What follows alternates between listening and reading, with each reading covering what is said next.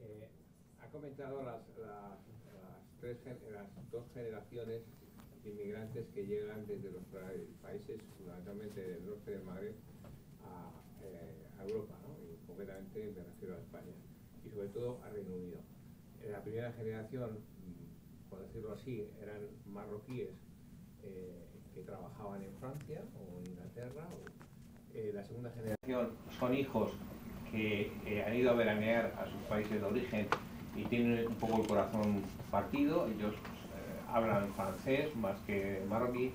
Pero la tercera generación, la de los, hijos, los, los nietos de los que vinieron, es una sociedad, es una generación en que se ha hablado mucho en que están desarraigadas, o sea, ni, ni son mm, de su país de origen ni son de su país de acogido y no se sienten acogidos. Estos son los que han producido en gran parte un radicalismo eh, religioso eh, político que es lo que están preocupados en Europa. ¿Puede comentar algo? Pues agradezco mucho esta pregunta porque era justamente una de las ganas, de las cosas de las que más tenía eh, ganas uh, de, hablar. Primero le hago un pequeño matiz. Eh, los, problemas de, de, radicalización nunca surgen efectivamente con la primera generación, pero ya hay problemas en la segunda y en la tercera generación. No hay cuarta por ahora prácticamente en, Europa, pero hay problemas con la, con la segunda. En la segunda ya, ya, ya hay casos de, radicalización y en, la, y en la tercera también, los hijos y los, y los nietos. Y esto me da pie para explicar eh, decir, por qué la gente se... Uh, se radicaliza. Yo creo que se habla de muchas cosas, están marginados, están en paro, no tienen futuro, son uh, la pobreza, uh, etcétera, etcétera. Todos estos factores, yo no digo, estoy hablando de los jóvenes que se radicalizan en Europa. ¿eh? Lo, que pasa en el, en el mundo árabe, incluido además en Ceuta y Melilla, es diferente. Eh, bueno, yo no digo que la pobreza, la marginación, la falta de futuro, uh, en fin, todo lo que queramos se, sean factores que en un momento dado puedan ayudar eh, o contribuir a la radicalización, que por otra parte son pocos, afortunadamente, los que se radicalizan y en España menos. Pero yo, el, el, origen, y estoy absolutamente convencido de ello, el origen de los procesos de radicalización es una forma de intentar resolver un problema identitario. Y, y, voy a poner un ejemplo, fin, eh, que yo en el marco del libro me, me he entrevistado en España con muchos uh, jóvenes musulmanes y, bueno, pongo un ejemplo que, porque era la chica que mejor se expresó, una chica que ya tenía unos 17 años, en Fuenlabrada, en una reunión de mujeres musulmanas a la que me invitaron y me permitieron asistir. Y en, un poli, en, una, en una, nave, en un, en un polígono, había unos 200, 200 mujeres, todas, la mayoría de ellas muy, muy jóvenes. Entonces, esta chica, que iba muy tapada, eh, había llegado a España con dos años, venía del norte de Marruecos, cogió el micrófono y explicó algo que es fundamental. Ella dijo, yo ya no me siento del país de mis padres, porque vamos muy poco, hablo mal el idioma, me miran raro cuando voy por ahí, me llaman la española. Tampoco me siento de aquí porque, pues porque llevo el hijab, ya me dicen que, soy, no soy de aquí, eh, no sé si tenía nacionalidad española, hablaba español sin acento, había llegado aquí con dos años y estaba acabando el bachillerato. Uh, y le quedaban unos meses para, para, acabar el bachillerato en un instituto de Fuenlabrada. Entonces, llevo el hijab, me viene raro, después llega el ramadán, yo, no, yo no, no, no bajo a comer durante el mes del ayuno con mis compañeros, no sé qué, y tampoco puedo compartir el ocio, porque el ocio en España son eh, cañas, eh, vinos y, muchas tapas donde abunda el cerdo. Y todo eso para mí, mi religión me lo prohíbe. Con lo cual, yo no soy de allí, ya no soy de allí, no soy de aquí. ¿Qué me queda? Ah, pues me queda mi religión. Entonces, abrazo el Islam eh, con, mucha, con toda mi fuerza. Y hasta ahí no pasa nada, lo que pasa es que algunos abrazan pues eso, versiones extraviadas, radicales, erróneas del Islam y se hacen radicales, se radicalizan. Esto es el origen de los procesos de radicalización. Después, que uno esté en paro, que no sé qué, que no, que, que no tenga... No, en fin, hay 50.000 motivos más que se pueden ayudar, pero el origen es intentar resolver este problema. Entonces, eh, eh, y, de pronto ser alguien, sobre todo aquel que, que, va a ser terrorista, que aspira a ser terrorista, toda la propaganda le, tiende a, decir no solamente de que lucha por un ideal justo, sino que además va a ser alguien, va a ser importante, si se va a pegar tiros a Siria e Irak tendrá mujer, coche, casa, en fin, será lo que no es en el país eh, donde, donde viven y esto se convierte en algo eh, muy eh, disparatado pero muy atractivo. Eh, eh, es, es eh, hacer una, una, pregunta en relación a un caso más concreto que, anteriormente planteado. Nosotros en origen somos de un pueblito del, sur de, la ciudad de Toledo y hasta hace 4 o 5 años en ese pueblo la integración que había de los musulmanes, que, debe tener entre un 7 y un, un 10% de, población musulmana, eh, era una integración, o sea, sí que evidentemente por los rasgos tú eh, identificabas quién era musulmán y quién no, pero los, chicos jóvenes, las chicas jóvenes, pues, pues los, los, veías vestidos de europeos. Hace tres o cuatro años, cinco años, se ha producido un giro, o sea, un giro que, que, la, la, práctica de su forma de vestir, de su religión, se ha, eh, se ha convertido en muy, rigurosa. Puede deberse a algún tipo de, orientación eh, eh, religiosa, global, que hayan podido recibir de alguna manera, porque concretamente el pueblo del que hablo, llegó un imán y los puso a todos firmes. O sea, que eso fue lo que ocurrió. Sí, me ha hecho la pregunta, pero al mismo tiempo ha dado la, ha dado la, la, la, explicación. Bueno, primero yo creo que hay una tendencia en general, sobre todo las mujeres, eso, a vestirse más, a taparse más, a ser más recatadas, entre comillas, pero efectivamente yo creo que la influencia de los imanes y de los clérigos, de los clérigos religiosos en general, es, uh,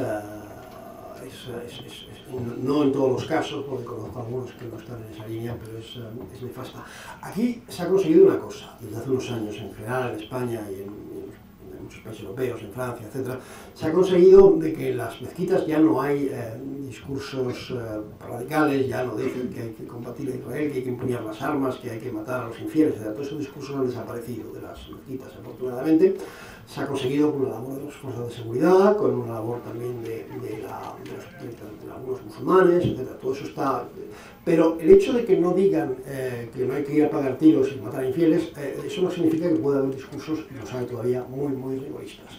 Y uh, de no te mezcles, de respeta tu religión, etc. Yo creo que, en fin, tenemos uh, por el lado de los imanes, por el lado, esto es otro capítulo muy largo, pero por el lado de los imanes, de la financiación de las mezquitas, de la financiación de las comunidades musulmanas, eh, una, un serio problema eh, que en buena medida, eh, como tú decías antes, Florentino, pues los países del Golfo con Arabia Saudí a la cabeza han contribuido a, a agravar, porque aquí hay una financiación muchas veces opaca de las comunidades eh, pues que llega de, de, Arabia Saudí o de otros lugares y no para practicar un Islam eh, tolerante. También llegan imanes eh, que están completamente desconectados de la realidad española, que muchas veces no hablan el idioma, que no se entienden bien con los chavales, porque lo que sí sucede muchas veces es que el fin de semana las, eh, en, las, en, las mezquitas, mezquitas la verdad es que hay muy pocas en España, lo que hay son oratorios, fundamentalmente pues se imparten clases de Islam, etcétera, se imparte el, imán y todo esto, pero es, es, es, todo un, es todo un despropósito, porque normalmente, repito, hay excepciones, yo conozco un magnífico imán en, en, eh, en Almería y otro en, Canarias, que en fin, eh podría ir a, a, a, a sus mezquitas y suscribir todo lo que dicen, pero me temo que no son muchos. Y, eh, y, además hablan bien el castellano, se entienden bien con los chavales, eh, etcétera, etcétera. Pero es la función de confirmar la regla. Aquí hay, llegan imanes egipcios que ni siquiera hablan el, el, el, el, árabe dialectal marroquí, con lo cual tampoco se entienden.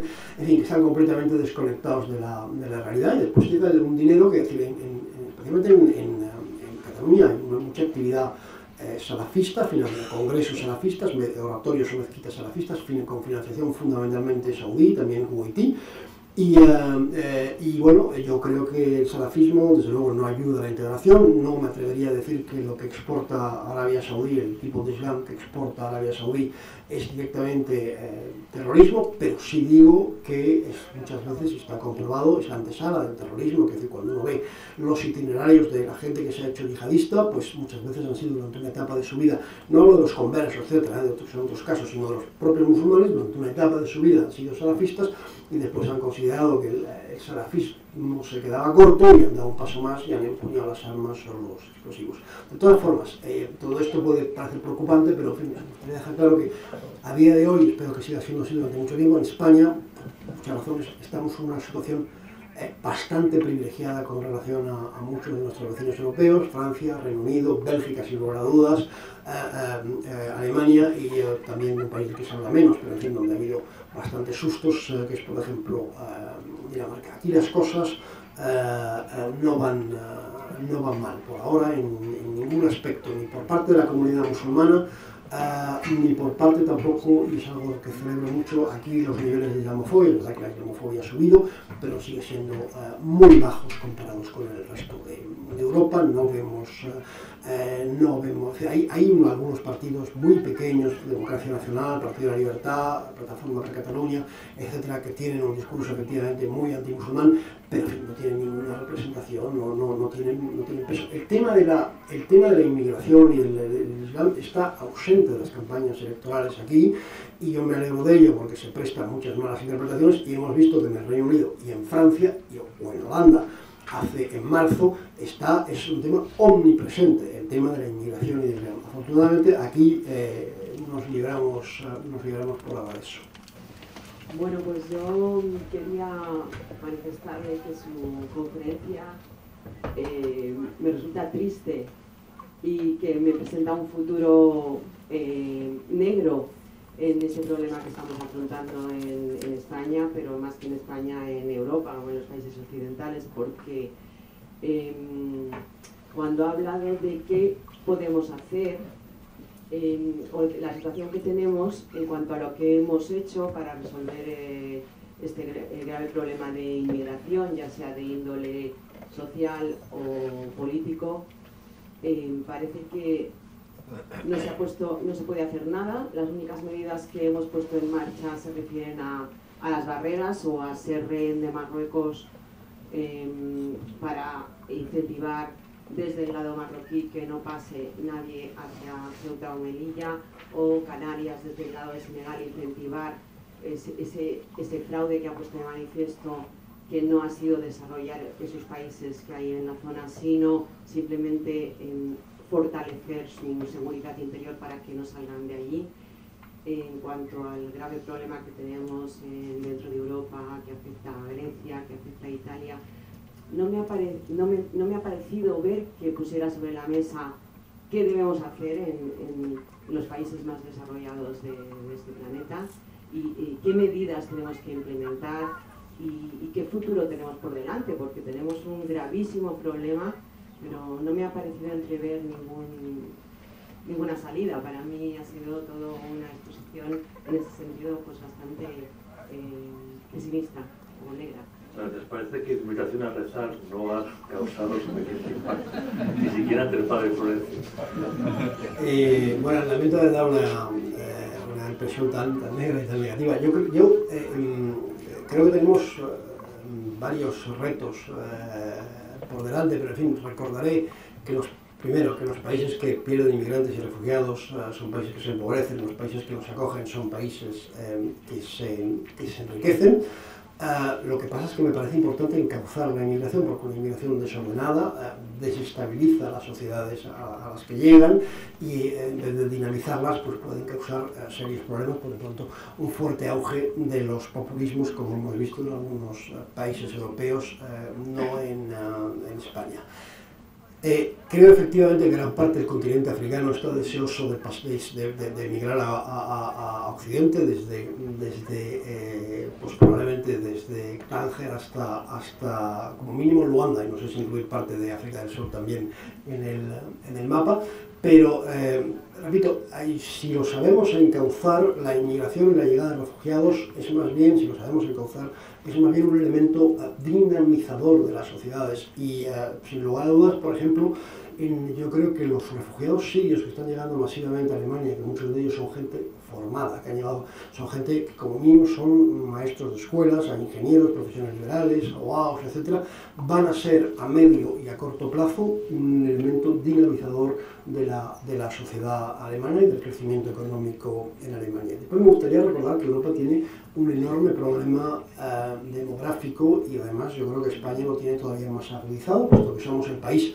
con el um, crecimiento demográfico más bien la, más, más, um, más, bajo de toda Europa. Tenemos, el, el, yo el mundo incluso al mismo nivel prácticamente que, Japón. Entonces, eh, las previsiones que hace, el, traído, las previsiones que hace el Instituto Nacional eh, de Estadística eh, sobre cómo será, si no, si no cambian las tendencias actuales en España, eh, la España dentro de, de, de medio siglo son eh, aterradoras porque la población estará ligeramente por debajo de los 40 millones de habitantes, hoy en día somos 46 millones y además eh, cerca del 40%, el 38% creo recordar de la población eh, tendrá más de 65 años si no cambian las tendencias actuales. Eso es un país insostenible, porque eh, es decir, es decir, o bien acabamos con las pensiones, y prohibimos el acceso de la tercera edad a la sanidad pública, cosa que supongo no querremos hacer, porque esto contradice nuestros valores, o bien eh, buscamos uh, remedios. Y esto hay dos formas de resolverlo, aparte evidentemente de intentar mantener un crecimiento económico sostenido. Una de ellas, incentivar la natalidad, ámbito en el que prácticamente eh, no se hace nada.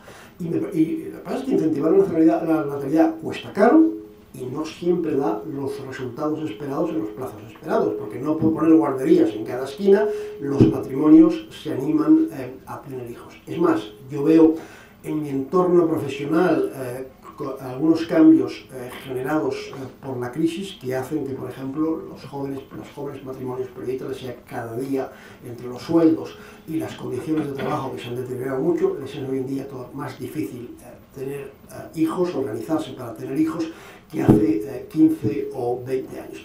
Entonces, me parece muy importante que en Europa en su conjunto y especialmente en España se incentive la, la, la natalidad, me parece eh, fundamental. No creo um, que se esté haciendo, no he visto uh, nada llamativo ni contundente. Estuvo el, el, cheque bebé en su los últimos detalles, el cheque bebé de Zapatero, que tampoco me parecía uh, muy útil, me parecía un elemento, pero un elemento aislado. Y desde entonces no se ha hecho nada. Yo creo que hay que hacer mucho en ese ámbito. Y la otra manera de intentar resolver este problema de una España um, envejecida dentro de medio siglo, con cerca del 40% de la población con más de 65 años, la otra manera es traer a inmigrantes.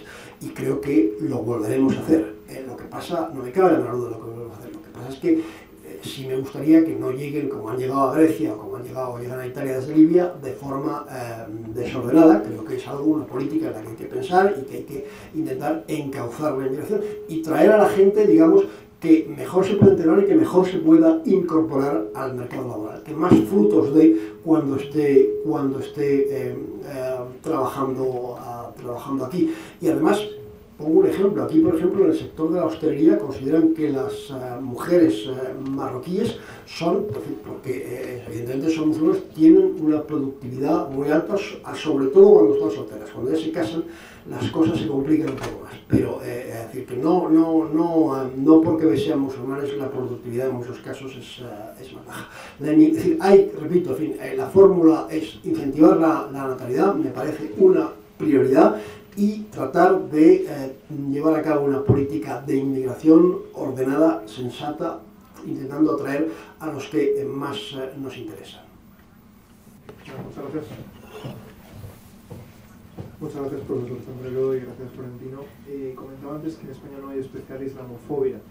Yo estaba pensando que hemos tenido suerte hasta ahora de que las fuerzas de seguridad y el CNI están haciendo un trabajo muy serio y bueno, pues nuestros objetivos antiterroristas están consiguiendo parar todos los eh, radicales que pueden atentar. Pero viendo lo que pasó eh, el otro día en Londres, ¿no? donde un, un que antes no, no, no, no, que no, no, ha dejado, a ver si es que se ha apagado.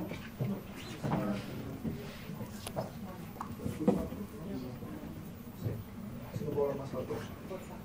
Mi, mi, planteamiento es que eh, en España ahora mismo no hay islamofobia, pero si hubiera un atentado terrorista con muchas víctimas, yo también como la sociedad española reaccionó después del 11M, eh, creo que hay un sustrato posible para que se haga algún tipo de, reacción, ¿no?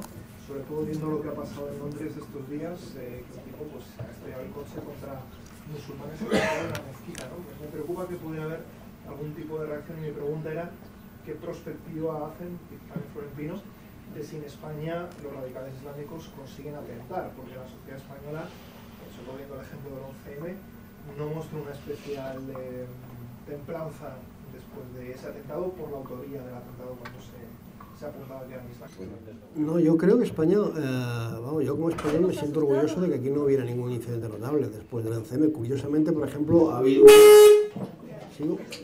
Hubo más eh, incidentes eh, después de los atentados de París eh, del otoño de, del otoño del otoño de, 2000, eh, de 2015. ¿eh? Ha habido, hubo más incidentes, incluido uno cerca de la mezquita de la M30. Aquí en, en España, después del 11M, prácticamente no pasó nada. No sé si está funcionando o no. No está funcionando. Sí, sí. ¿Sí? No. ¿Sí? Bueno, no, yo creo que no. Pero bueno, puedo levantar la voz, no sé si me oye al fondo, ¿eh? levantar la voz todo lo que pueda. No, eh, yo, em, eh, en fin, eh, creo que aquí eh, por ahora no hay islamofobia, eh, o, muy poca, muy poca comparada con otros países, y eh, hay- es decir, aquí los incidentes que hay son, eh, son muy menores comparados con otros países europeos.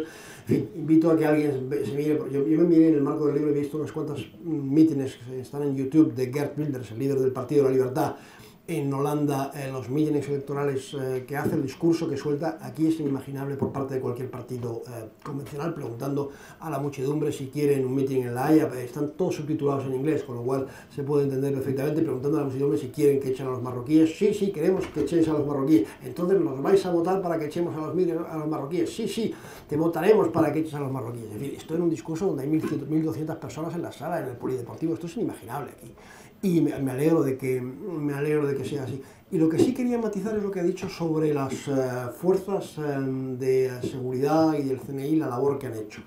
Eh, yo, en fin, he tenido algunos debates en público con el anterior secretario de Estado de Seguridad, eh, Francisco Martínez, y creo, yo creo que lo que aquí ha habido eh, es, eh, él dice, eficacia de las fuerzas de seguridad. Yo llamaría más bien hiperactividad de las fuerzas eh, de seguridad. En España ha habido mucha operación eh, preventiva, eh, y eh, hasta noviembre de 2015 era el país de Europa donde más operaciones antiterroristas se habían hecho, hoy en día ya no supera Francia. Y eh, bueno, se han abortado, yo, yo no sé si se han abortado eh, eh, muchas, muchos proyectos de atentado que estaban en, en, en- en germen, yo creo que no. Eh, lo que se ha hecho es, eh, es eh, eh, lo que esto, este, este grado de prevención por parte de las fuerzas de seguridad ha hecho que muchas veces, sobre todo hasta 2012-2013, cuando empieza eh, cambia dos veces, el, el- entra en vigor, dos, hay dos cambios del, del Código Penal, sobre todo el segundo en la, en la, en la legislatura de, en la que Rajoy tiene mayoría absoluta. Bueno, el- muchos de los detenidos y, eh, han sido absueltos por, las, eh, por los tribunales, porque aquí y después, si no eran españoles, lo que ha hecho Interior en muchos casos es expulsarles, una expulsión eh, eh, administrativa. Aquí, eh, en fin, va a parecer un poco chocante lo que voy a decir, pero... todos estos que hoy ha habido otras detenciones, etcétera, en fin, hay que leerse con cierto interés, los, con cierto detalle los comunicados de interior, que a mí me parecen todos alarmistas y que la prensa también es muy alarmista.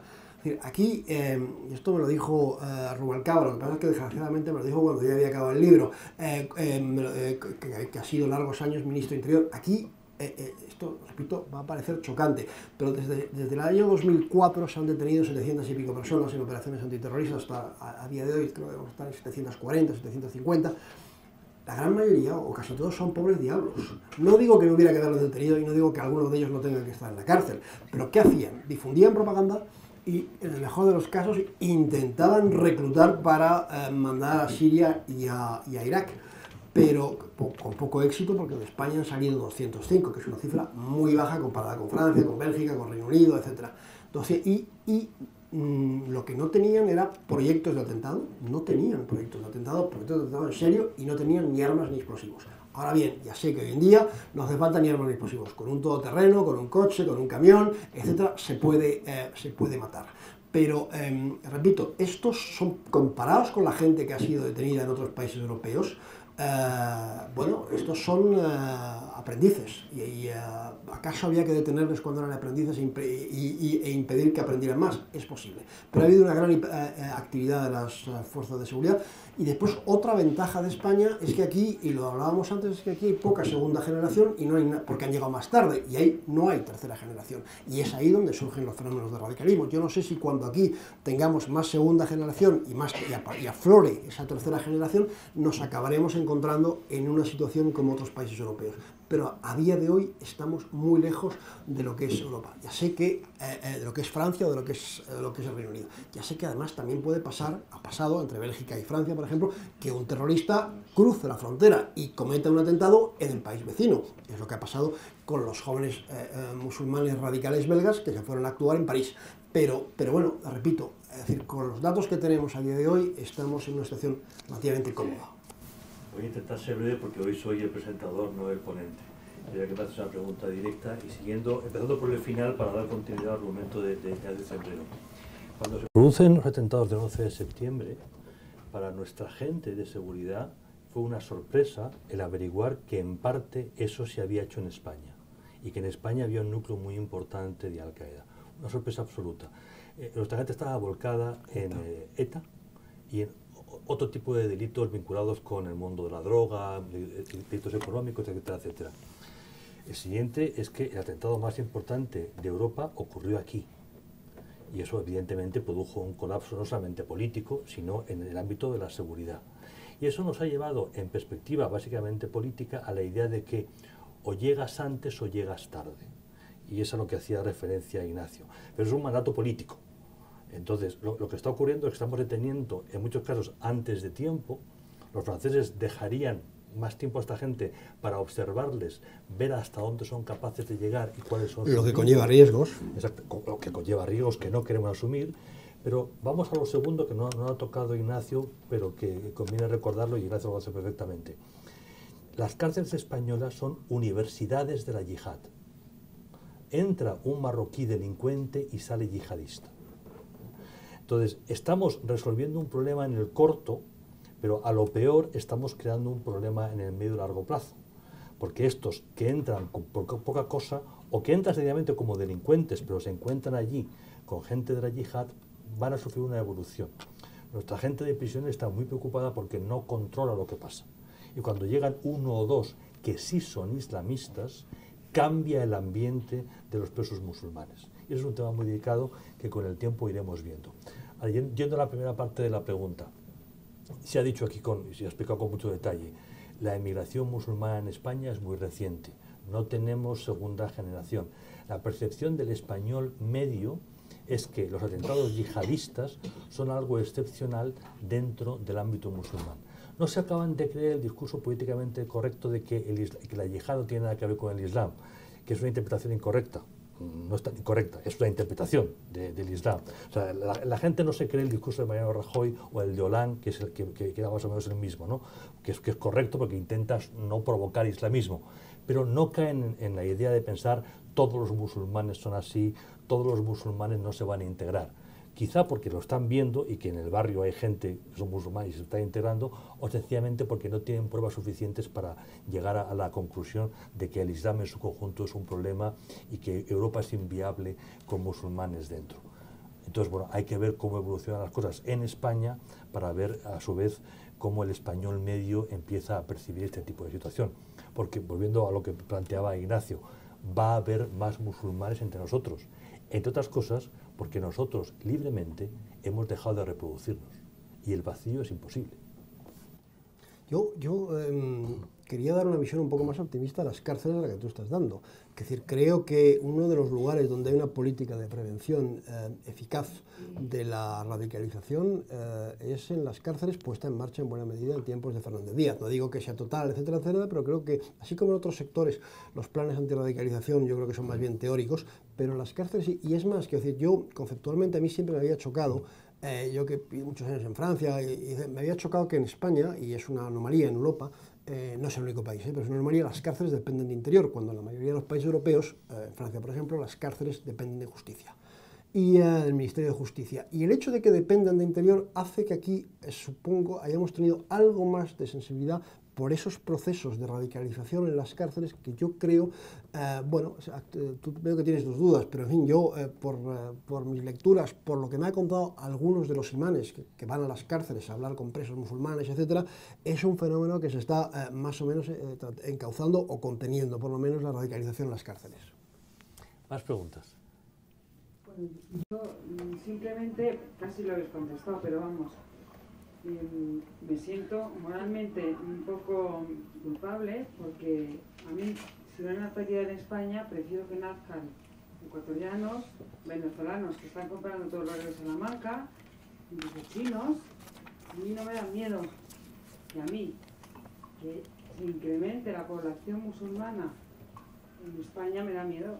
No lo puedo evitar, porque estoy viendo el resultado de Francia, Bélgica, digo, realmente son los que van a, integrarse, entre comillas, aquí, los que luego a lo mejor son cómplices de los yihadistas. No sé, yo tuve una chica marroquí, 10 años, una monada, me ha criado a mis hijos y cuando se cayeron las Torres Gemelas, esta chica vestida de Zara, monísima, pero lo comprendió. Entonces, a mí me da miedo, no lo puedo evitar, me da miedo pensar en que la población de España vaya a incrementarse a pesar de que sea bueno para la construcción, que son fantásticos. De verdad que lo sé. No sé si es que... Lo suscribimos muchos. Una cosa es lo que se dice y otra lo que se piensa. Y hay el discurso ese políticamente correcto de decir una cosa y pensar. Esto es muy en la línea Pero el discurso correcto, el discurso político, yo, yo efectivamente creo que el yihadismo es una no, digo, no creo que es uno, de los debates que tengo con cierta frecuencia en las redes sociales con, eh, con eh, musulmanes. Ellos dicen que el yihadismo no tiene nada que ver con el Islam y yo eh, les, les, les, replico y nos, y nos enzarzamos. Y dicen además, muchos de ellos dicen yo no tengo por qué condenar esto porque esto no tiene nada que ver con, con mi religión. Y bueno, les digo, aquellos que matan sí dicen que lo hacen en nombre de vuestra religión, aunque a vosotros no os guste. Y a partir de ahí tenemos em, eh, largos, eh, largos debates. Hablo con, gente muy formada, ¿eh? no, no, con gente muy formada, diciendo esto no va conmigo, por tanto, hay otros que no, hay otros que piensan que efectivamente los musulmanes tienen que involucrarse, involucrarse más. Yo creo que la solución a todo esto, entiendo primero que los gobiernos europeos hagan ese discurso de que esto no tiene nada que ver con el Islam, porque aquí lo peor que podríamos tener son enfrentamientos entre, eh, eh, digamos, eh, populismos o extremistas em, de, de, derechas o de ultraderecha y comunidades musulmanas. Y por tanto entiendo que Teresa May, Rajoy, Hollande y probablemente el día de mañana Macron hagan exactamente el mismo discurso. Esto no tiene nada que ver con el Islam, es una, es una o como mucho es una perversión del Islam, que yo preferiría que dijeran eso, que no, que no tiene nada que ver con el, con el Islam. Entiendo que lo hagan. Dicho esto, yo creo que la, en muchas, es decir, la, la mejor manera de resolver esto, eh, hay, dos, hay, dos cosas, dos factores para intentar resolverlo. Eh, eh, uno de ellos creo que hay que fomentar ante todo la educación. Aquellos que vinieron en los años 70 Quiero decir, son que son, que, bueno, hay algunos jubilados y otros que siguen ejerciendo de médicos, eh, eh, no, no, han tenido ningún problema porque era gente educada y se encuentra plenamente integrada en la sociedad, o plenamente eh, asimilada, integrada, eh, participando en la sociedad española. Espero que con el tiempo los demás también accedan a la educación y esto se resuelva. Pero también otro, otro factor importante es, y esto es mucho más complicado de hacer, hay que intentar con, conseguir que el Islam en Europa, y esto es muy complicado, se independice de la tutela de eh, los países del Golfo e incluso de los países que no son radicales como Marruecos. Hay que intentar que surja un Islam español o un Islam eh, europeo. Y cuando digo esto, digo europeo de, de, Algeciras a Helsinki, porque en definitiva los valores son eh, muy parecidos. Esto es una tarea y hay que, hay que cortar el, colón, el, corto, el, el, el cordón. cordón umbilical, efectivamente, el cordón umbilical entre las comunidades musulmanas en Europa eh, y eh, los países de origen. Algunas lo tienen, ¿eh? decir, aquí hay comunidades subsaharianas que, en fin, van por libre y que no tienen nada que ver con eh, ningún país, aunque muchas veces aparece, y ahí está el problema, el mecenas, ¿eh? que dice, yo, si hacéis esto, no sé qué, os puedo ayudar, etcétera, etcétera. Y, el fajo de billetes o el, o el, que, que trae eh, va acompañado, digamos, de algunos eh, principios doctrinarios, religiosos o ideológicos, como lo queramos llamar. Pero es muy... Ahora, es decir, yo sobre esta tarea de cómo independizar o cómo librar de la tutela al Islam en Europa, eso daría eh, para mucho. Austria ha hecho unas experiencias extrañas, que yo creo que van a acabar mal, pero bueno, eh, eh, Austria, eh, su problema es sobre todo con Turquía, es decir, lo que quiere cortar es el, cordón umbilical entre los musulmanes turcos o de origen turco, que son la mayoría en Austria, con, en definitiva, con Erdogan, y, yo creo que no le va a salir bien la operación. Es muy complicado, es muy complicado hacer, es algo sobre lo que aquí deberíamos reflexionar y además creo que se nos abre pronto una oportunidad de reflexionar, pero creo que se desaprovechará. Como ven, el problema es complejo, no permite, eh, digamos, aproximaciones meramente binarias, está lleno de matices, no se puede ser optimista e ingenuo, pero tampoco debemos eh, sencillamente caer en un pesimismo derrotista. ¿Más preguntas? Yo, buenas tardes y muchas gracias por, la, por esta charla tan agradable, tan, vamos, tan interesante. Yo lo que quería era, ¿no creen ustedes también que puede ser un factor de radicalización que no han mencionado para nada? Porque eh, Europa entraña eh, la libertad del individuo, pero hemos llegado a un punto del libertinaje del individuo y lo tenemos en este fin de semana en Madrid, en las calles de Madrid. ¿No creen ustedes que también una religión como el Islam, que puede ser de islamistas buenos o de islamistas no radicales, se pueda radicalizar ante este libertinaje que toca los sentimientos más, más interiores de la moral de un hombre? Bueno, eh, si uno mira la, si uno lee la, no ya la propaganda de grupos terroristas, sino incluso si uno lee eh, pues algunas publicaciones, eh, digamos, conservadoras musulmanas, yo diría que casi todas, con alguna excepción, son en mayor o menor conservadoras, hay efectivamente constantes denuncias de la, del, libertinaje en, en Occidente.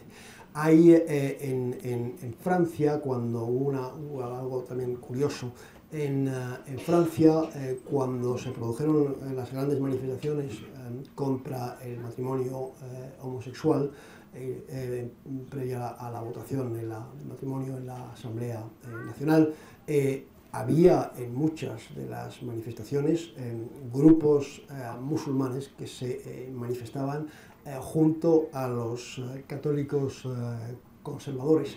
Y, y, aquí, por ejemplo, yo me he encontrado en España, cosa que me ha llamado la atención, hablando con chicas musulmanas, practicantes jóvenes, hablo de 16, 17 años, que estaban acabando el instituto y que me decían que ellas no podían compartir su ocio con sus compañeros de clase españoles porque el ocio era un ocio nocturno, un ocio con mucho alcohol y un ocio con tapas con, cerdo, como decía antes. Eh, eh, entonces, entonces al final, ¿qué hacéis? ¿Con quién? Eh, ¿Solamente entre musulmanas? No, no, me decían, no, no, yo, yo salgo con, con chicas cuyo, cuyos padres son del Opus, así que de vez en cuando se producen este tipo de, este tipo de, de, ah, de encuentros. Ahora bien, yo decía antes que en Francia hemos visto eh, a musulmanes en las manifestaciones contra el musulmanes franceses, al lado de los católicos conservadores, eh, en eh, manifestaciones contra el, matrimonio homosexual, pero a la hora de votar, y eso está bastante estudiado en Francia y también en el Reino Unido, los musulmanes no votan a la, a la derecha ni a partidos de centro derecha ni a partidos, no digo que algunos no voten, pero los que tienen la nacionalidad y, y votan, que tampoco son muchos los que se animan a votar, no suelen votar a la derecha o al centro derecha, eh, porque, por dos razones, y eso, está, eso sí que está estudiado en estudios sociológicos, académicos, etcétera, en los dos países, en Francia y el Reino Unido, en buena medida además, Hollande cuando ganó las elecciones presidenciales hace cinco años, eh, la, la, ganó frente a Sarkozy gracias al voto, al voto eh, musulmán. Y entonces cuando se les pregunta a estos musulmanes que, digamos, comparten en buena medida valores, eh, con el eh, centro derecha, pero que cuando van a las urnas eh, votan a, los socialistas o incluso más a la izquierda, ¿por qué actúan así? Ellos dicen siempre lo mismo, esto está estudiado científicamente, ellos dicen, no, es que nos la izquierda nos va a respetar más, aunque no compartan nuestros valores, y la izquierda, mm, nosotros somos gente que débil económicamente, etcétera, necesitamos más ayuda, necesitamos más subsidios y la izquierda será siempre más generosa eh, que la derecha. Y por esas dos razones, eh, fundamentalmente, los eh, musulmanes que han adquirido la nacionalidad de algunos países europeos y que votan, votan mayoritariamente a la, izquierda, al laborismo o al socialismo en el caso de Francia. Hola, buenas tardes. Una, pequeña pregunta de geopolítica. Has comentado que eh, el principal problema con el Islam en España está en, el, en, Marruecos y en el Sahel, concretamente el problema de Marruecos. Hay, el, rey eh, tiene, tiene que estar lidiando cada vez más con una radicalización de los tradicionalistas que, que cada vez van ocupando más, más, más poder y, eso de algún modo eh, esa, situación de rehenes que tenemos nos puede, nos puede afectar. La, película, la pregunta era porque yo creo que ahí hay un baile a tres también, ¿no? que es eh, la relación de Marruecos con Estados Unidos y, la posición diplomática que nosotros tenemos en ese, en ese equilibrio eh, de, también a Marruecos, le, a, Estados Unidos le, le, interesa, bueno, toda Europa, a Marruecos como una, como una situación de contención. Eh, ¿En qué medida eso, en, en, en, una situación de conflicto, nos, nos, puede, nos puede afectar y con una derivada un poco de lo que está pasando ahora entre, entre Qatar y Arabia Saudí, que cambie el, el, el apoyo que, que, Estados Unidos puede estar dando a un, a un país o a otro? Eh, bueno, lo que tiene que lidiar hoy en día el rey, más que con el Islam político que está en auge en Marruecos, pero que está en auge, yo diría, el Islam político en todo el mundo árabe, lo que tiene que lidiar es una revuelta en el RIF que tiene muy poco um, de um, religioso y sí de reivindicación de uh, derechos económicos, uh, sociales y yo diría que civiles. Yo probablemente ahí, eh, eh, creo que Florentino estará en desacuerdo, eh, yo tiendo a sacar un poco a Estados Unidos de la ecuación magrebí o de la ecuación del, del, del Sahel. Desde luego con Trump, desde luego, porque en fin, no está, no, dudo mucho que sepa colocar a cada país en, el mapa, pero incluso con las anteriores administraciones y también la de, la de Obama. La idea de los americanos esto no es, esta zona no es una prioridad para ellos, acaso mmm, les importaba más, eh, hablo del Magreb y del Sahel, les importaba más eh, Argelia a, a, causa de esos hidrocarburos, sobre todo, sobre todo a la administración Bush, que tenía muy claro, al ser su origen tejano, que tenía muy claro la importancia de los hidrocarburos, pero yo creo que la idea que de las, por lo menos hasta Obama, de las diferentes administraciones norteamericanas, es que esto eh, del Sahel y del, del Magreb era mm, que lo llevaran, uh, que, lo, que, sus aliados europeos, eh, especialmente la, principal, la que fue la principal potencia colonial en la zona que es, que es Francia. Y lo hemos visto incluso, en fin, cuando se trató de derrocar a Gaddafi, que en un momento dado Estados Unidos se descolgó y dejó el protagonismo sobre todo a Francia y al, al Reino Unido, hablo del año, del año 2011. Eso no obsta para que esté presente, antes contaba sus dos bases de drones en, en Níger y otras las fuerzas especiales que ha llegado a tener en determinados momentos, que probablemente tenga también hoy en día en Libia, pero yo eh, creo que eh, esto es, una, es algo, es algo eh, secundario para Estados Unidos. Estados Unidos no es un actor principal en el Magreb ni en el, uh, ni en el Sahel, sí lo es en el Golfo y en Oriente Próximo, y en buena medida eh, la crisis desatada entre Arabia Saudí y sus aliados con Emiratos Árabes a la cabeza y Qatar, eh, eh, es una crisis permitida eh, por, o tolerada por la administración Trump. No creo que con otra administración norteamericana, ni siquiera eh, la de Obama, que cometió unos cuantos errores, creo yo, en Oriente Próximo, eh, esto hubiese sido posible entre aliados. Y, um, y, y, por, y Arabia, eh, después de la visita de Trump a Arabia Saudí, Arabia Saudí debió haber entendido, yo no sé si malinterpretó o no, pero debió haber entendido que tenía una luz, luz verde para asestar un palo a, al alumno díscolo de la clase, que es Qatar, y es exactamente lo que ha hecho al poco tiempo del viaje de, de Trump a la zona. Y no sé muy bien lo que dijo Trump, pero en todo caso el mensaje fue como mínimo lo suficientemente confuso incluso como para el rey Salmán eh, a la cabeza eh, creyera que tenía eh, las manos libres para eh, actuar eh, contra Qatar. Esto con otra administración norteamericana no hubiese pasado, pero forma parte del peaje, del precio que tenemos que pagar eh, desde que Trump está en la, en la Casa Blanca, espero que por, no por mucho tiempo. ¿Más preguntas? ¿No has, discrepado sobre el papel de Estados Unidos? Perdón, porque me no, no he discrepado porque pienso exactamente lo mismo. Ah, me alegro, me alegro, pensaba que no. No, Obama cambió radicalmente la política exterior norteamericana sobre su implicación en determinados temas internacionales y a partir de ese momento sencillamente Estados Unidos vive de espaldas del Magreb y Sahel, salvo cuando es una colaboración con Francia, bueno. que para ellos es el actor de, de referencia. Sí, buenas, buenas tardes, noches, gracias por la, por la conferencia. Eh, mi pregunta está ligada un poco a, poco al papel de, los países eh, del Golfo. Eh, ha dejado claro la conferencia un poco todo el, flujo migratorio ligado a, factores socioeconómicos. está claro el, el, cordón que existe entre Qatar, Kuwait, Arabia Saudí, con las tendencias que a través de los imanes pueden llegar aquí a Europa y, lo ideal que sería cortar ese, ese umbilical. Pero ¿cuál es realmente el, interés mayor que pueden tener estos países tipo Qatar, Kuwait y Arabia Saudí para desestabilizar lo que tiene que ser un flujo migratorio natural por la crisis o por, el bienestar que se vive en Europa? ¿Cuál es el interés último de estas potencias que a su vez tienen intereses económicos también con Estados Unidos para seguir eh, forzando un poco eh, desestabilizar Europa?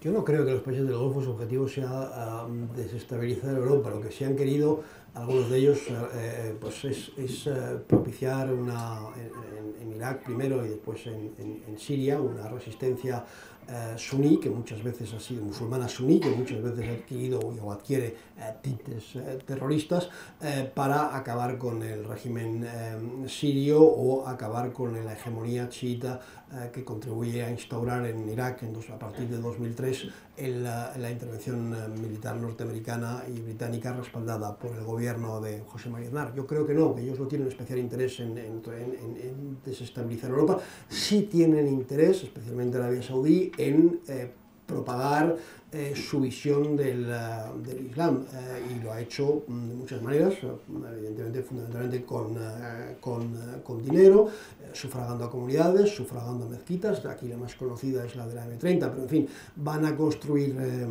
hay otras, otras más en España, directa o indirectamente subvencionadas, van a construir una, me gusta mucho eh, recordarlo en, eh, los saudíes, la, misma, la misma casa que los de la M30 en, Madrid, en Las Palmas de Gran Canaria, donde no hay una gran mezquita, eh, y había una demanda de la comunidad musulmana de, la, de, Gran Canaria de, de disponer de una mezquita como Dios manda, como Alá manda en, la, en, la, en Las Palmas y desde que llegaron los ayuntamientos del cambio, pues un terreno importante ha sido cedido por el ayuntamiento, no ya a cualquiera comunidad, cualquier comunidad musulmana, sino a los saudíes. Y se da la particularidad de que el concejal de urbanismo, que es el que ha hecho esta, formalmente ha firmado esta cesión de un terreno para la construcción de una gran mezquita en Las Palmas donde no la hay, el concejal de urbanismo, me gusta mucho recordarlo, es de Podemos, es decir, que Podemos ha, eh, ha cedido ese terreno en Las Palmas a, es verdad que con el acuerdo del conjunto del consistorio, eh, presidido o encabezado por un alcalde socialista, pero ha, ha, ha cedido ese terreno a eh, Arabia, Arabia Saudí, cuando yo creo que si se quería satisfacer esa demanda de la comunidad musulmana de Canarias, se podía haber buscado alguna otra, alguna otra alternativa, pero no, se ha entregado a los saudíes, que evidentemente son también los que ponen más dinero y tienen más dinero a la hora de, de, ah, construir. Y eh, no sé, todo esto me he perdido, estaba... Eh, es que quería, siempre me gusta recordar algunas incoherencias, eh, no es la única, pero, pero de, de, los ayuntamientos del cambio y esta me parece especialmente llamativa. Ya, ya, ya cuando me, me, obceco con esto y me olvido otras cosas. esto... ¿Me queda algo más por...? ¿Quiere la pregunta era si había un fin mayor por parte de estos países. Yo creo que ha contestado. Sí, no, el fin es, el fin es expandir su, su visión del, del Islam eh, wahhabita o salafista, que es el caso en el caso de, de, Arabia Saudí, del que he dicho antes que no, no es terrorismo, pero en fin, muchas veces es la antesala del terrorismo cuando vemos los itinerarios de, los, de muchos de los terroristas que durante una época han sido salafistas. En todo caso, el salafismo, sea o no sea terrorismo, que yo creo que no lo es, pero sí es como otras, como otras corrientes del Islam, como lo son también los tabligh, que en España tiene una pequeña presencia, es una corriente fundada en la India en los años 20 del, siglo pasado, eh, lo, que sí rechazan es, es, es, integrarse, mezclarse con el infiel, etcétera, etcétera. Y por todo eso me parece, me parece mal y me parece que habría que intentar eh, privarles de medios. Pero repito, en Estados de Derechos y en sociedades democráticas es muy complicado. A mí se me ocurre una fórmula, eh, eh, pero no creo que aquí eh, el gobierno eh, o las autoridades tengan las narices. Austria ha aprobado una fórmula, en fin, cada uno eh, es el que ha ido más lejos, como decía antes, otros países han probado otras fórmulas. No, yo creo que aquí vamos a una cosa que me parece deseable, además la, la conferencia episcopal no se opone en absoluto, que se debería haber hecho hace mucho tiempo y no se hace. Es decir, que la famosa, ahora que estamos haciendo la declaración de la renta, que la famosa casilla por la que los católicos pueden dar el 0,7% de sus impuestos a la, a la conferencia episcopal, pues que suceda lo mismo con todas las religiones de eh, reconocido arraigo, es decir, los musulmanes, los evangélicos, los judíos y acaso alguna más el día de, mañana. No entiendo muy bien por qué esto no se ha hecho, porque en principio, eh, repito, la conferencia episcopal, no, con tal de que no le quiten lo suyo, no pone ninguna pega para que los demás también se puedan eh, financiar así, y, eh, y, eh, y, es una demanda especialmente de los evangélicos que siempre han defendido mucho mejor sus derechos eh, que los musulmanes que son un desastre en esa materia en España y en Loba. Son un desastre por muchas razones, entre otras cosas porque están muy divididos. Y, um, y, yo creo que lo que sí se podría hacer cuando esto cambie en España, eh, el ministro Catalá ha prometido que se iba a hacer, eh, cuando todos eh, los fieles de cada religión puedan, a través de la, su declaración de la renta, dar parte de sus impuestos eh, a su comunidad, yo creo que se podría pedir a las comunidades que opten. Si quieren financiación pública española, deben renunciar a cualquier financiación del extranjero. Y esto sería una manera de intentar librarse un poco de la tutela del dinero que llega uh, de fuera. Pero no sé si el gobierno tendrá, o el Ministerio de Justicia tendrá el atrevimiento de proponer este tipo de medidas. Quizás si tenemos en cuenta la importancia que eh, las, los trabajos de otras empresas de ingeniería vienen teniendo en la región, esto nos puede ayudar a entender quizá que nuestra diplomacia sea a veces tan laxa con determinados temas. Sí, el, el, vamos, pequeña precisión, el, el, mayor contrato jamás obtenido por empresas españolas en el extranjero es el famoso AVE de la Meca a Medina, que probablemente algún día además se prolongue hasta Jeddah, que es un contrato uh, fabuloso, eh, y, uh, y, también eh, entre 2014 y 2016 España exportó eh, por aproximadamente unos 900 millones de euros de, en armas a Arabia Saudí, que eso explica unas cuantas cosas. era una pregunta breve sobre lo que ha pasado en Suecia, allí hay muchos refugiados que han ido allí, es un país que les ha aceptado con los brazos abiertos y parece ser que están teniendo bastantes problemas, aunque Donald Trump tuvo el desliz ese un día que dijo lo que había pasado en Suecia tal, y no había pasado nada, pero muchos días sí pasan cosas y pues quería saber eh, qué pensabais sobre lo que pasa en Suecia.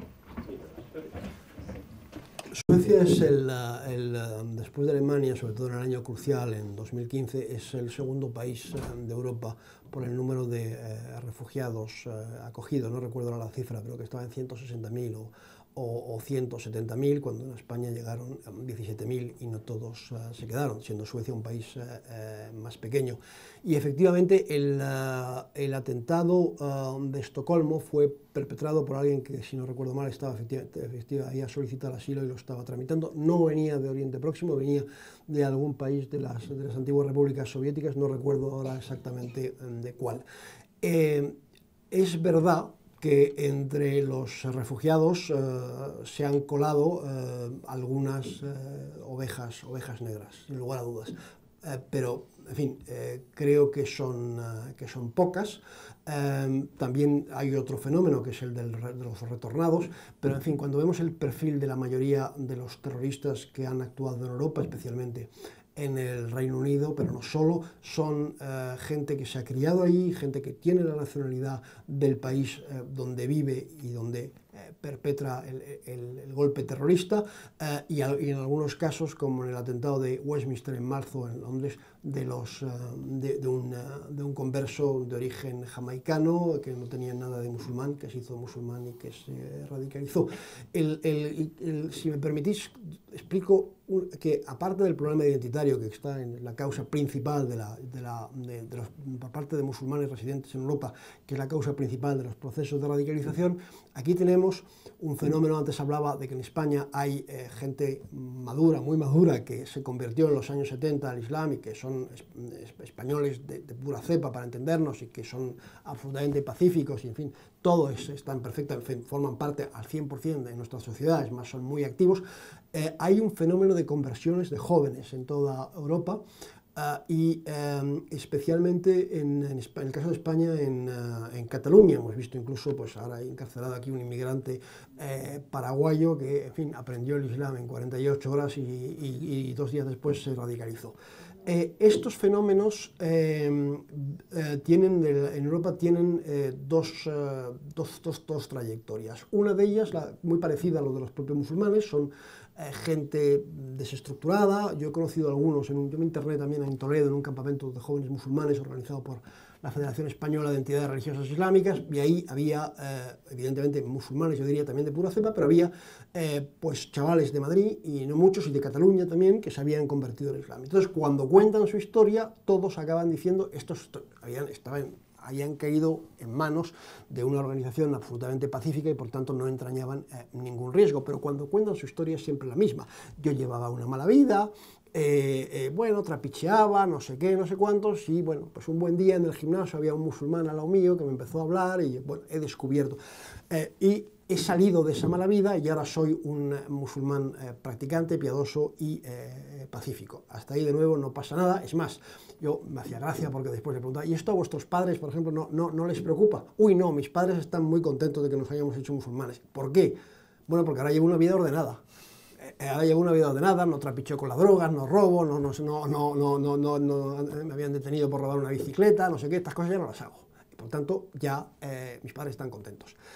Eso es un fenómeno que pasa en varios lugares de Europa eh, y no reviste mayor importancia. Hay otro fenómeno que también lo tenemos en España, eh, en Cataluña eh, sobre todo, y es de, jóvenes que tampoco tenían nada que ver con el Islam y que quieren luchar contra la globalización, el capitalismo salvaje, el, eh, apostar por el cambio climático, en fin, tienen una gran empanada mental. Hace 30 años, esos jóvenes se hubiesen hecho trotskistas, marxistas-leninistas, maoístas, etc. Esas ideologías hoy en día están de capa caída. Entonces, para luchar contra la globalización se cree que haciéndose no solamente musulmán, sino musulmán radical y, visitando las páginas de Al-Qaeda, visitando las páginas del, mal llamado Estado Islámico, ahí van a combatir de verdad esa salvaje globalización y el imperialismo norteamericano. Y, eh, bueno, eh, eh, tenemos algunos, algunos casos, hay un caso en Cataluña, de, además era jefe de una célula, está en la cárcel, era algo mayor para lo que solo tenía 41, 42, 44 años, creo que tenía, era un hombre que había sido granadino, granadino era peluquero de profesión, se había instalado en, en, la periferia de, de, Barcelona. Y, y, es un caso clásico porque había en su, en, su, en su, adolescencia o en su juventud, en su primera juventud, llegó a, ser, a quedar, a estar fichado porque escribía cartas a los presos del, del Grapo en las cárceles, expresándole su simpatía sin tener ningún carnet ni nada. Y 20 años después se hace eh, musulmán radical y monta una, una, célula. Es un itinerario eh, no digo que sea, evidentemente todo esto es muy minoritario, pero hay una franja de la juventud que hace 30 años, repito, hubiese sido marxista, leninista, maoísta, etcétera, eh, trotskista, y ahora, como todo eso no existe, se hace eh, del Islam eh, radical. Hubiese sido preferible que fueran trotskistas, porque los trotskistas no solían empuñar las armas en Europa. Estos, estos sí, además, se quieren ir a, a, Siria y a Irak a, a, pegar tiros. Es un fenómeno minoritario, pero, pero existe, existe en España, en Cataluña sobre todo, existe en Francia, existe en el Reino Unido, etcétera. Vamos a, ponernos debajo de la bandera del Estado Islámico para acabar con la globalización. Ignacio, muchísimas gracias por una vez más compartir con nosotros tus investigaciones, tus impresiones, tus valoraciones sobre temas de, enorme interés. Cecilia nos ha enviado un mensaje claro, conviene obedecerla, yo la conozco hace un tiempo y... Conviene. No, no o sea, la cuenta no es la cosa más sensata, su yo que está aquí al lado te sugeriría que eh, seamos prudentes. Yo espero que después de esta sesión, que se ha prolongado más allá de lo normal, tenga una visión más rica, más compleja de la realidad que vivimos. Nosotros, nuestra obligación no es hacerles a ustedes más felices, sino más libres. Conociéndose es más libre, no necesariamente más feliz. Posiblemente la ignorancia es el estado natural por el cual uno puede, ser, puede levitar de pura felicidad, pero ese no es nuestro cometido. Eh, la, realidad nos plantea retos no hay momento histórico sencillo, no nos engañemos. Este nos asusta sobre todo porque es nuevo. El holocausto nuclear, que era lo de hace 20 años, no era una situación mucho más eh, sencilla, pero eh, es verdad, estamos en una nueva etapa, una nueva revolución industrial, tema que ya hemos tratado en alguna otra ocasión, y por lo tanto tenemos que ir acostumbrándonos a los parámetros, a esos elementos que van a caracterizar eh, esta, este periodo que nos ha tocado vivir y sobre todo que va a tocar vivir a nuestros hijos. Dicho esto, muchas gracias. Creo que ahora sí, por fin nos darán un gin tonic. Ya lleva siendo hora. muchas gracias.